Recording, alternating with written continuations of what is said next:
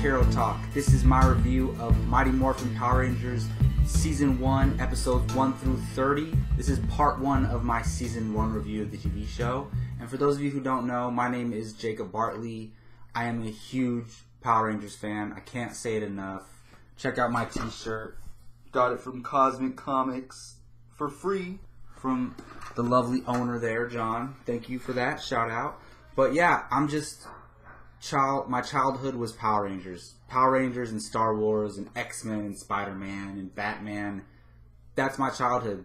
That's where this YouTube channel comes from and I love Power Rangers just as much as I love all those other things and I have no shame in it. I, I remember in high school I was kind of shamed to love it so much and no one would ever talk about it like it was cool. But as I've grown to be an adult, I've realized that you cannot be shameful in what you love, and I happen to love this material. And just the Mighty Morphin stuff. After that, it got way out of control. Like I, I, I watched the Zeo and the Turbo when I was a kid, but it was never the same after the original cast members left season two of Power Rangers, and once they got past Mighty Morphin, I really, I still like the later Mighty Morphin stuff and the Mighty Morphin Power Rangers movie, duh. But season one is where it's at. And I decided as my grown man self to watch season one, rewatch it again because while I remembered as a kid, I was not, I couldn't just recall specific episodes or certain moments. So I wanted to get up to date on it because I keep claiming that I'm a Power Rangers fan. Now, before I get into it all, I'm gonna just get all the negatives out of the way in the beginning because there's a bunch of them. And I know the show's cheesy. You can call it stupid if you want. There definitely are stupid and cheesy moments. But I'm here to celebrate the show, not here to bash it. And as a fan of it, I recognize its flaws. But so I'm gonna get that stuff out of the way first, and then talk about what I love about it, and then talk about some specific episodes that really stood out to me. And again, this is Mighty Morphin Power Rangers review season one, part one, episodes one through thirty. Let's get into it. So as far as the cheesiness goes, a lot of it surrounds Bulk and Skull. I nostalgic for nostalgic purposes. I still like Bulk and Skull. Like they're a part of the Power Rangers as a whole. Like not the the literal team, but just the show. And I, I appreciate their presence and they're important to the original show, but they're just so dang. It's way too over the top. Every time they show up, I just I kind of want those moments to be over. There's a few good moments with them, like when they do something kind-hearted or like they're not being a holes. There's a cool few cool moments, but overall, Bulk and Skull just completely are the core of the cheesiness of the show. And it's not the actor's fault. It's not the character's fault. It's just the way they wrote the characters and the tone of the show and what they were going for. And back in the 90s, it worked for comedic relief. But watching it now, the comedy involving them does not hold up. Also, another thing that really bothers me in the show is the unrealistic scenarios and explanations for things. Like, oh, by the way, I should have said this right from the beginning. I'm going to be talking spoilers. So yeah, just every episode, like the way that Rita goes about attacking the Power Rangers and how the Power Rangers defeat the monsters and then how Rita just keeps trying the same thing over and over again and never works. And that aspect of it gets a little tiring from episode to episode. Now, there are a lot of occasions where it doesn't get repetitive and do that, but a lot of the time it's repetitive, and Rita just keeps unrealistically doing the same exact thing over and over again. And again, who cares? Because you want to get to, you need to introduce conflict, have the Power Rangers fight the monsters, and then have them fight them in the Megazord. That's the ultimate goal of each episode, and they kind of just got to that scenario each time at the sake of sacrificing storytelling. So whatever, you know, you can't be mad at that. And then also going off of that, just Rita and her villains just bad. I don't know. Like again, like and Skull, nostalgic purposes, I still find some enjoyment in watching it. But Rita's just annoying, and her her most of her villains are just stupid and pointless. A lot of them, and even like her main villain crew is just pointless. Other than Goldar, I like Goldar and I like Scorpina, kind of, but for the most part, Rita and all her villains are just a very low point on the show. And also, one thing that really bothers me is the acting. Now, it's a show. These weren't. They got like martial artists to be in the show, so like they weren't like Broadway performers and stuff, as far as I know. But the acting is just bad. But again, 90s, who cares? It was for the times. And then one more thing is just the Power Rangers, you know they're going to win every time. There are a few times where they don't win and it's really difficult for them. But for the most part, they defeat the monster and it's just it's repetitive, repetitive storytelling. But it's a kids show, so who the heck cares? All right, now that I got all the negatives out of the way, and there's other negatives, but those are the main things that I noticed that really bothered me and were low points on the show. But now it's time to talk about the awesomeness. And I legitimately think this stuff is awesome. Like, I'm not just being biased. There's a little bit of bias, of course. But I legitimately think this stuff is awesome. And now I'm going to start with the costumes. I honestly think the costumes look dope. Like, really. They look dope. Like, I think they're sick. And I think even if you use those same exact costumes today, maybe like just make them look metal instead of just tights, then the same exact design, I think it would look great.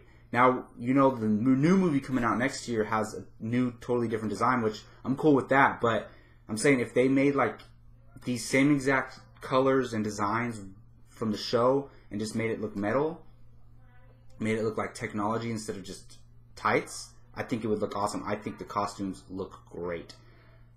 Now, every single time they go into Morphin Time, I just get excited. Dragon Zord or Pterodactyl or you know all the other ones. I I get excited. It's Morphin Time. Like stupid, and the song comes on. I love it still.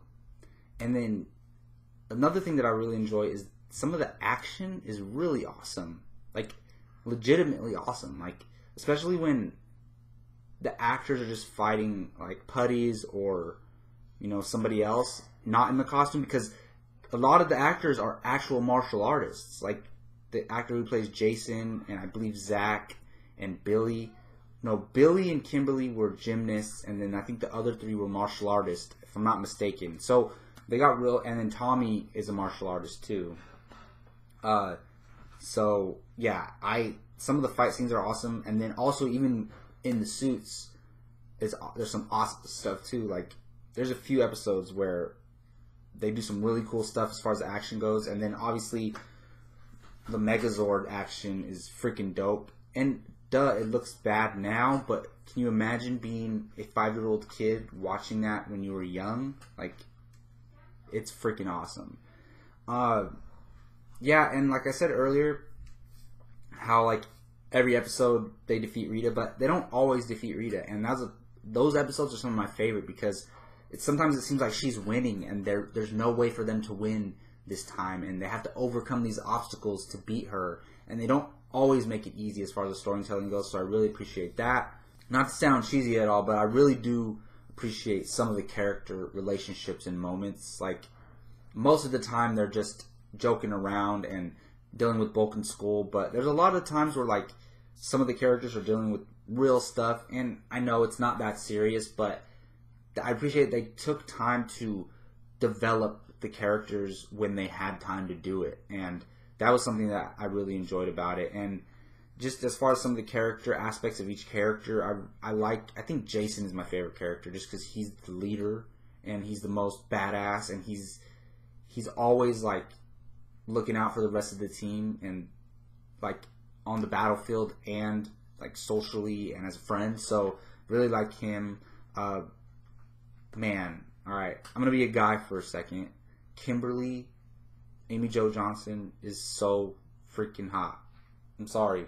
I no shame there. She I got a crush on her when I was a kid. I have a crush on her now. Like she is a very attractive woman. I'll keep it at that. Um, I actually I also really like Billy in his role. He's like he's the scientist and he he's very important to the team. They cannot get a lot of stuff done without Billy. And even though he's not the best fighter, he is arguably one of the most important team members on that team because he knows how to handle all the technological stuff and he knows how to outsmart anyone and any villain that they face. So Billy is definitely one of my favorite characters as well.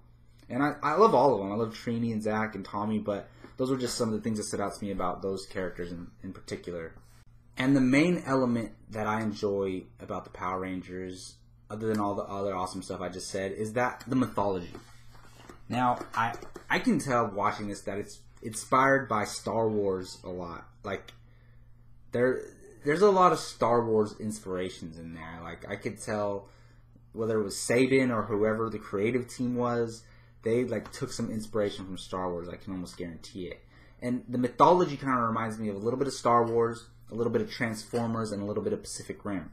This is what gets me so excited for the movie next year because we don't know what the tone or what they're going for. And I've heard some amazing things. I've talked about it so much how the whole team they got together creatively and talent wise is great. Just I'm not going to go into it again, but think about this.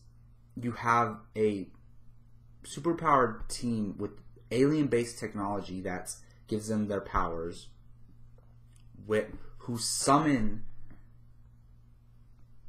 big robots to fight giant monsters. Like it reminds me of Star Wars a little bit with the space aspect and Transformers with the robots and Pacific Rim with the robots fighting the monsters. Imagine what you can do with that mythology in a realistic live action modern telling of this story. It's I think it's going to be freaking awesome. I it's one of my most anticipated movies of next year. Cannot wait. I'm sure if you're watching this video and you care enough to watch it, you can't wait either. So, yeah, so those are some of the things that I really love about the show. There's a whole bunch of other stuff that I like, and I'm going to get into specific episodes that I really enjoyed. But I want to talk about something else really quick, and I, it, it's hard to talk about the Power Rangers without talking about this, especially the original Mighty Morphin series. Is that I don't know who decided to. Now I'm going to talk about a little bit of racism and diversity on the show. Now you have Zach and Trini, right? It's great that they made the team diverse. Like you have three white characters, four when Tommy comes in, but you have a an African American guy and an Asian and a Chinese girl. That's great. They could have made the whole cast white if they wanted to. They could have. But they didn't. They cast a black guy and an Asian girl. But then they make the black guy the Black Ranger and the Chinese girl the Yellow Ranger. And I don't know who decided to do that, but I acknowledge, and I'm not one to get crazy over race and stuff like that. Um, but I acknowledge that that is some messed up stuff. It's very disrespectful, and I don't know who decided that that was a good idea. Hopefully, we never have to do that again. In the new movie, that it's not like that. They have an Asian young man playing the Black Ranger. They have, I think, she's Hispanic, Becky G. I think she's Hispanic. She's playing the Yellow Ranger, and then you have uh, a black guy playing Billy, and then two whites. So they changed that, and they recognized that that was a mistake. But whoever decided to do that back in the day when the original series aired, that was a huge mistake and it's very disrespectful. And I do find it offending, but at the same time, like I'm not gonna let it ruin my viewing experience, but I do acknowledge that it was wrong and it definitely is, and they know that. That's why they're not doing it again in in the new movie. So, all right, now let's talk about some of the episodes that I really enjoyed. Uh, some standout episodes for me, and I, I like the start of it. How how I mean, First of all, just really quick, it's funny to me. Why does he need teenagers? Like, why can't you get like grown adult martial artists? Like, you need teenagers with attitude. I don't think they ever explain why, but it's just funny to me. But I, I like the beginning episodes, but really when it started to get really good to me is episode 12. It's called Peace, Love, and Woe. And it's, um, so Billy kind of has this love interest and she gets trapped by Madame Woe this character. She could send people to different dimensions apparently, and it was the first time where I noticed that they had a ranger dealing with an issue on his own, and he had to fight her by himself, and it was really cool because they could they could so easily just have every scenario involving action have all of them fighting the monster, but there's a lot of times where they have one ranger dealing with one issue and they have to fight the monster themselves, and that was the first time I noticed it. So I really liked Peace, Love, and Woe, um, and it, yeah, it was one of my favorite episodes, especially early on in in the first part of episodes one through thirty. Next episode that really stood out to me is called it's episode 14 foul play in the sky and kind of for the same reason because it's kind of based around kimberly and uh, her uncle takes her on a on a plane ride and rita poisons her uncle to make him fall asleep and kimberly has to fly the fly the plane and while she's doing all that the rangers are getting defeated by snizzard a this villain who could swallow them. And he defeats them and she comes down and defeats him by herself. So four Rangers couldn't defeat him, and they say Zordon says Kimberly needs her bow and arrow to defeat the Snizzard, but and just when she used her bow and arrow and like four arrows go in his neck, like it was pretty dope. And and it's just another example of how one Ranger dealing with something uh, is really a highlight of the show. Now, of course, I got to talk about it. The Green with Evil saga. Every everyone's favorite thing to do with the season one and of course the infamous Green Ranger. For me, I love the Green Ranger and I love the Tommy character, but he's not my favorite. A lot of people instantly Green Ranger is my favorite. I gotta go with Jason. The Red Ranger is my favorite. Tied with Kimberly. Jason and Kimberly are my favorites. I like all of them, but if you had to make me choose, I'll choose Jason. But Gotta love me some Green Ranger. And the Green with Evil saga is from episodes 17 through 21.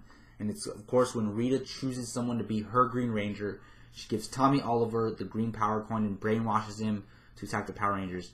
This is the first time that I felt a real threat for the Power Rangers. Like, the command center gets attacked, Zordon gets sent away or destroyed for a t- certain time period, Alpha gets messed up the Power Rangers are constantly getting defeated episode and after episode, and it's a real challenge for them. And first of all, I like Tommy, and I like how he kind of challenges Jason both in martial arts and leadership, and just as like kind of the lead of the show. But he, they they don't really uh, have Jason take a back seat, but he's kind of overshadowed by Tommy f- for a little bit there, and so I do like Tommy as a character. And the Green Ranger is just so badass. He looks badass. He has the shield on his chest. He just looks great. And I I know now why so many people and myself loved it so much when I was a kid. Now I can't talk about the Green Ranger without talking about the freaking Dragon Zord. What the, what the f? So awesome. Imagine what so excuse me. The Green Ranger's not going to be in the new movie next year, I don't think. But imagine what they could do in a sequel with the Green Ranger. He could be the villain of sequel of season two, or at least the, the muscle for Rita in in the sequel to the Mighty Power Rangers.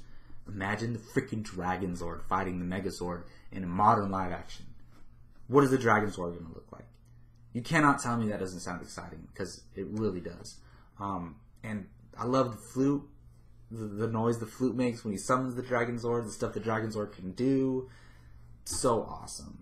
Uh, some of the highlights of the episode run uh, when Jason gets sent to the dark dimension and he's kind of playing mental, getting played mental games with with uh, Goldar and he has to fight Goldar and the Green Ranger. So those little moments were cool. And then it was the first introduction to Scorpina in episode 19 during this saga as well. And I think she's a pretty cool villain. And I'm reading the Power Rangers comics right now, and she's like Rita's right hand. So uh, yeah, I overall love the Green with Evil saga. Definitely a very strong point in the whole season.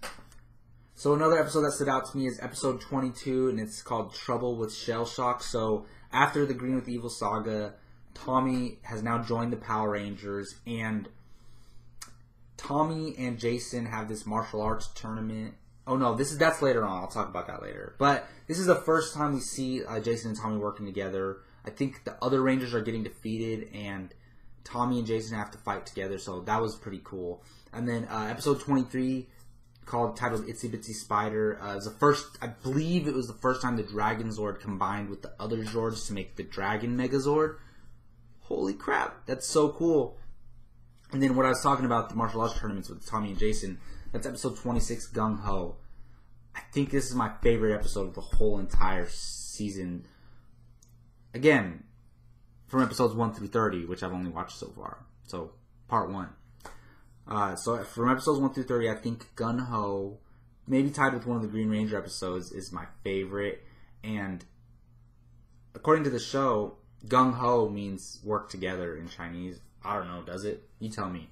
But that's what they that's what Trini says in the show. And so Tommy and Jason have this martial arts tournament and they're supposed to work together, but then it also it's like not a metaphor, but it, it's a reflection of them working together as a as the Power Rangers too and who in this episode Rita creates these super putties who are apparently more powerful, but all that changed is their hands are bigger. I thought that was stupid. I that in the cheesy parts. You're making super putties, they should look different, be bigger, be smart. First of all, hold on one second. The super putties are so stupid. They can't even fight. Like I could beat up a super putty. There's a Jason's cousin who's a freaking like ten year old kid in the show beats up a super putty. Like horrible, whatever you want to call them, things for the Power Rangers to fight. Ugh, hate the Super putties. But it gives us cool action scenes, so whatever. But getting back to Gung Ho, um, Jason and Tommy get sent on this mission together, and it's kind of a test by Zordon. And you first, this is when you first meet Titanus, the um, the the big lizard type robot creature that um, eventually leads to them creating the Ultra Zord. But I'll get to that in a second. But Tommy and Jason working together on this mission, and you know they're not they don't like like each other that much, but they're they're cool with each other though, and they're they're running up this hill trying to trying to get these new weapons to defeat the Super Putties, and Titanus is like you know knocking them down, knocking them down, and they they're working together. And Jason says, "This is when I got like the chills." Jason, and it's not that serious, but it's just for me it meant a lot. Jason was like, you're uh, I'm faster and have more agility than you, but you're better than with a sword than me. So uh, I'll run up the hill and distract him, and you use my sword and and and get him. And it just was like, wow. So these two characters have big egos, and that was them setting their egos aside and working together to accomplish the task. And also, Tommy tr- gives Jason his the gold shield on his suit and you get to see the Red Ranger with the gold shield. Such a great moment. So definitely my favorite moment and episode from episodes one through thirty is Gung Ho, and then you get to see. Oh no, you don't see the Ultra Zord in that episode, but later, a couple episodes later, you see Titanus combined with the Megazord to create the Ultra Zord, which is dope. And uh, and I also really liked episodes twenty eight and twenty nine, Island of Illusions. They were like the most personable episodes, and the the episode that felt like the most mental challenge for the characters. It was another time where Rita was definitely winning, and she didn't. They didn't defeat her until the second episode. So really liked that.